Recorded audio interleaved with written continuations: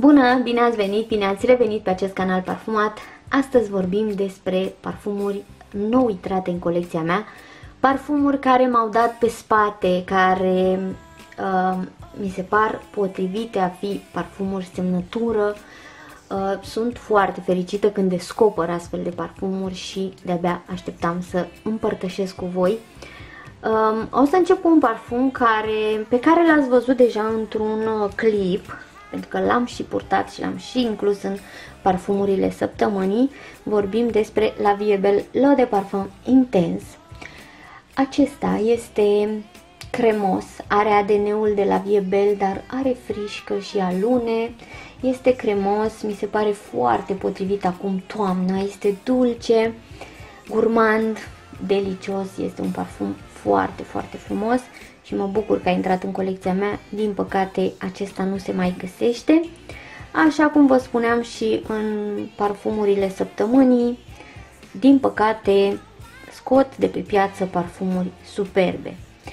Acum să sperăm că o să îl readucă într-o altă haină, într-o altă sticlă, pentru că mai fac ei așa. O să vedeți că chiar am în în colecție un parfum pe care cu siguranță l-au scos într-o altă haină, într-o altă sticlă și este vorba de Sea Intense, acesta negru, este o variantă a lui Sea mai misterioasă, mai întunecată, mai siropoasă și mai sexy, aș spune eu. L-am mai avut în colecție, dar în acel moment nu cred că l-am înțeles. Mi s-a părut cam mult pentru mine, dar acum mi se pare foarte frumos, foarte ușurel. Atunci mi s-a părut un parfum cam greut și cam întunecat. Vorbesc de câțiva ani. Da, este foarte frumos parfumul acesta. Mă bucur că l-am readus în colecția mea pentru că da, știu că au scos în 2021 un uh, si intens pe care l-am și testat, dar nu mai țin minte cum, cum este. Ele toate au ceva în comun, au siropul acesta de coacăze negre, dar nu mai țin minte cum era acela, ca să pot să vă spun asemănări și diferențe, nu. Doar că știu că acesta este unul siropos, misterios, dark și foarte intens așa cum îi spune și numele. Este un parfum intens și foarte frumos. Trecem mai departe uh, la un parfum de la Zara. V-am vorbit eu acum ceva timp despre acesta când am testat parfumul în Zara și v-am spus că m-a atras acest Bohemian Oud. Acesta are ca și note cacao, tămâie, vanilie, piper uh, negru, Uh, lemn de ud și imortelă, dar și piele. Da, sună greu și complicat, dar nu este chiar așa. Vedem cu ce seamănă. Se zice că seamănă cu By the Fireplace și sunt de acord cu asta pentru că de fapt nu este chiar un dupe, dar uh, găsesc ceva din By the Fireplace aici. Dar mai era un parfum cu care se spune că seamănă da? Carolina Herrera Gold Mar Absolut. Da. Două persoane mi-au spus până acum că miroase a biserică, dar m-am gândit că se așează, oricum eu îl simt un parfum cozy și afumat, miroase a lemne arse, simt asta, dar nu pot să zic că um, îl asemăn atât de mult cu By the Fireplace, nu. Mm -mm -mm. Da, găsesc, găsesc aici mirosul de lemne arse din uh, By the Fireplace, dar mi se pare mai puțin dulce și mai uscat acesta. Mm, nu are o cacao cremoasă sau ceva, nu, este un parfum super cozy, de toamnă, de iarnă, miroase a lemne arse, are și o dulceață acolo pe în spate, simt, dar puțină. E mai uscăcios el așa, dar îmi place. Uh, simt lemnele arse din By the Fireplace, bineînțeles că acela este mult mai complex. Mi se pare mai simplu, mai puțin dulce, mai liniar acesta, dar miroase bine. Și e interesant așa, pentru că este și un parfum accesibil, miroase bine. Eu când l-am testat prima dată am zis wow, apoi nu pot să zic că mi s-a mai părut la fel, mi s-a părut foarte dulce prima dată când l-am testat în magazin, acum poate că uh, stătuse mai mult parfumul în sticlă, fusese testat de atâtea ori și s-a mai așezat, m-am gândit că și acesta poate se mai îndulcește, dar uh, mie place cum miroase, îmi place. Da, te duce cu gândul la un foc de tabără, nu neapărat și la bezele arse în foc, nu, sau la castane, nu te duce cu gândul acolo, mai mult te duce cu gândul la lemne arse și cu puțină dulceață. Dar e frumos, e frumos. Dacă vă plac parfumurile afumate, testați-l pe acesta că uh, eu am vrut să-l iau de mult, dar nu l-am găsit la varianta asta de 30 de ml și nu am vrut să iau o sticlă mare, nici nu consider că se merită să iei o sticlă mare. Uh, e ok, 30 de ml. Testați și variantele acelea cu vanilie, noutățile, pentru că sunt foarte frumoase. Mi-a plăcut foarte mult Supreme Vanilla, parcă, da. Este foarte frumos acela de la Zara și poate că o să-l iau și eu așa la 30 de ml. Trecem mai departe la un alt parfum pe care cred că l-am testat la un moment dat și nu știu dacă a fost același parfum, dar uh, oricum mă interesa o oricare uh, flanker de Mugler. Este vorba despre Sanesens Leger, e de leger. Un parfum uh, cu mult paciuli, o bombă cu paciuli. Un parfum proaspăt este varianta proaspătă a lui Angel. Are și el acolo niște note gurmande, are niște nuanțe gurmande dar în mare parte pot să zic că este un parfum proaspăt și cu mult paciuli, mult paciuli. Uh, nu l-am testat ca să, nu l-am purtat de fapt, vă dați seama că l-am mai testat, așa arată capacul, îmi place foarte mult sticla asta.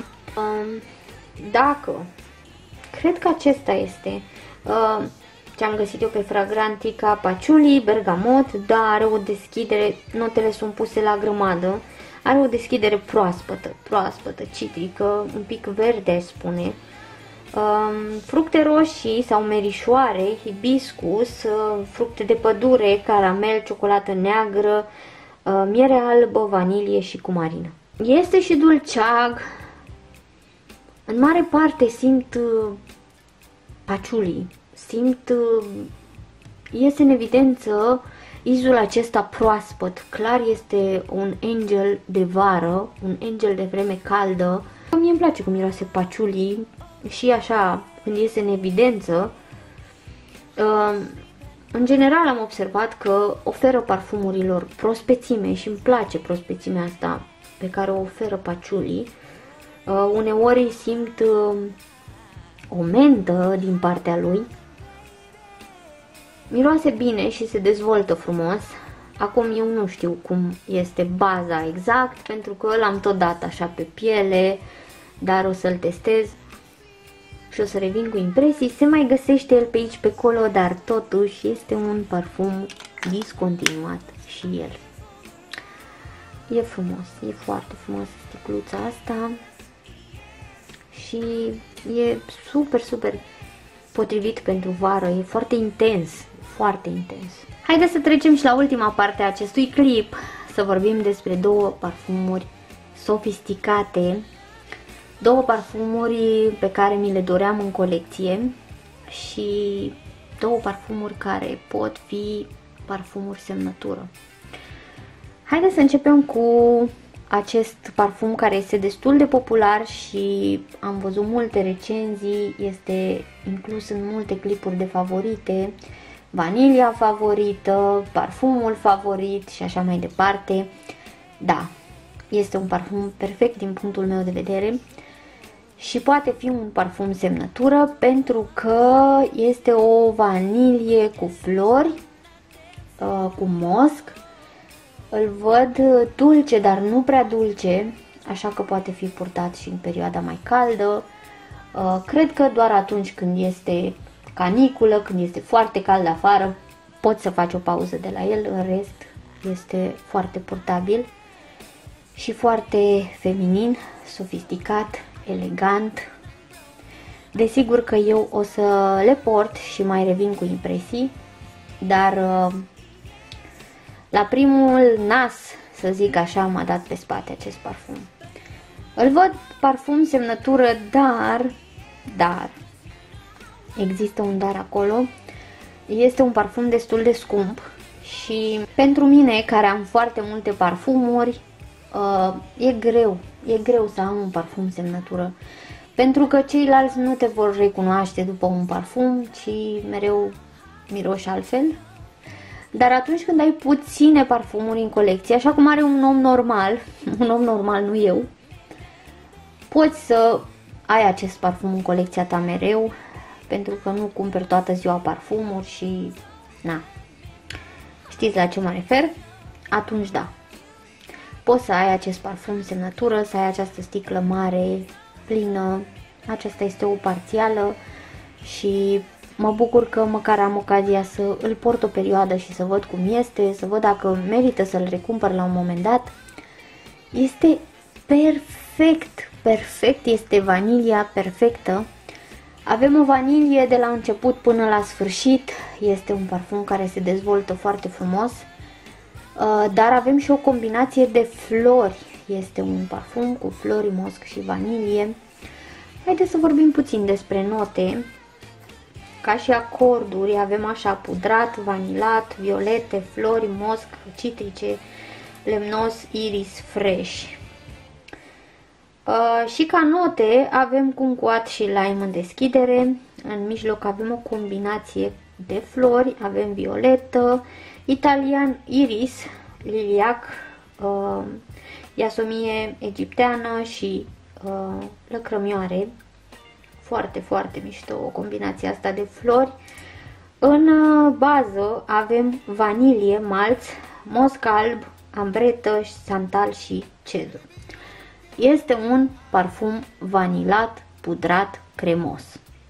Mi se pare perfect parfumul acesta. De-abia aștept să-l port. Uh, v-am zis că mi se pare potrivit și în perioada rece și în perioada mai caldă. Da, este o combinație de flori pudrate cu vanilie, cu mosc.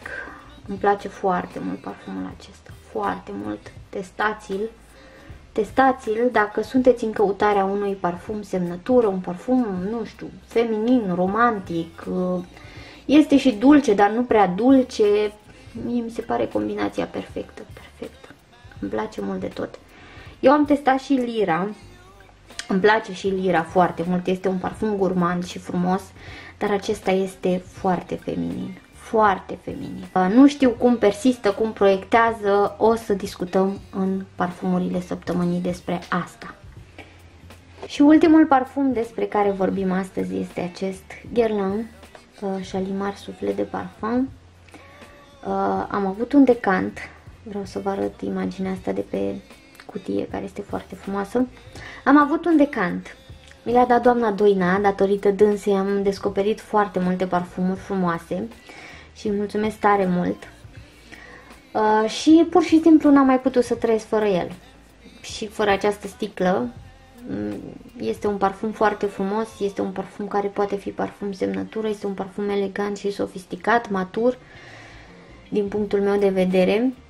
Uh, special pentru mine pentru că mi-aduce amintiri din copilărie, un miros pe care l-am simțit în copilărie, mă duce cu gândul și la o geantă veche a bunicii, o geantă de, din piele. El este o combinație de citrice, flori și mosc pufos, vanilie, o combinație fluffy, aș putea spune, o combinație unică. Este un miros foarte interesant. Am mai mirosit la un moment dat parfumul acesta, mi-a dat Mihaela la un moment dat o mostră și nu pot să zic că atunci da, tot îmi aducea amintiri și tot mă ducea cu gândul în acea perioadă. Însă a fost o perioadă în care nasul meu mi-a dat multe rateuri și nu numai mie, tuturor, pentru că înțelegeți ce vreau să zic, n-am avut mirosul prea bun mult timp, poate că nici n-am avut miros o perioadă, știți la ce mă refer, nu vreau să zic că știți că YouTube nu ne lasă să spunem niște chestii pe clipuri, da. Însă acum, acum, acum este parfumul perfect. Și parfum, un parfum semnătură, poate fi un parfum semnătură. Este un parfum ușurel așa, um, citric, v-am zis, fluffy, dar are ceva acolo, ceva interesant, ceva, un iz ușor animalic, un mosc pufos, este o vanilie frumoasă, deci e atât de frumos parfumul acesta, super, mi se pare, îl recomand. Uh, și vă spuneam că îl văd un parfum semnătură, dar există acest dar pentru că se găsește din ce în ce mai puțin și la un preț destul de mare. Din punctul meu de vedere merită fiecare bănuț. Eu l-am luat la un schimb, s-a nimerit să-l iau la un schimb. Așa a fost să fie, ca acest parfum să fie al meu, pentru că chiar așa s-a nimerit, dar îl căutam. Îl căutam și îl urmăream pentru că este un parfum de avut în colecție. E superb parfumul acesta. Și mă bucur tare mult că el este acum în colecția mea. O să îl port. Îmi place îmi place mult și v-am zis, este mai special pentru că îmi aduce niște amintiri și îl simt atât de plăcut pe mine. Uh, e deosebit. Ei bine, cam atât pentru astăzi. Sper că v-a plăcut acest clip. Aștept părerile voastre, chiar sunt curioasă ce părere aveți despre Shalimar și ce îmi recomandați Uh, la un moment dat mă uitam după lumier, tot așa cu sticla, dar era o sticlă albă, nu se mai găsește, deși aveau niște prețuri atât de bune atunci. Din păcate, nu a fost momentul meu. Asta este. Uh, și nu se mai găsește acela. Dacă ați testat Dama Bianca, spuneți-mi cum vi se pare vouă. Chiar sunt curioasă și de alte păreri pentru că mi se pare atât de frumos acest parfum. În rest, uh, na, sunt parfumuri despre care am mai vorbit uh, și despre cele de la Zara. Puteți să-mi lăsați în comentarii să-mi spuneți ce vă atrage dintre noutățile de la Zara. Și noi uh, o să ne auzim într-un video nou în curând. Însă nu uitați să vă abonați dacă nu ați făcut-o încă, să-mi lăsați un like, uh, să împărtășiți cu prietenii voștri aceste clipuri, pentru că nu neapărat vreau să cresc, nu asta este intenția, deși uh, cumva pentru mine este o motivație că văd că sunt persoane interesate, eu v-am mai zis că altfel pot să mă bucur și singură de parfumuri. Um, și să mă urmăriți și pe Instagram dacă vreți. Vă mulțumesc pentru vizionare, ne vedem în curând. V-am pupat! Pa, pa!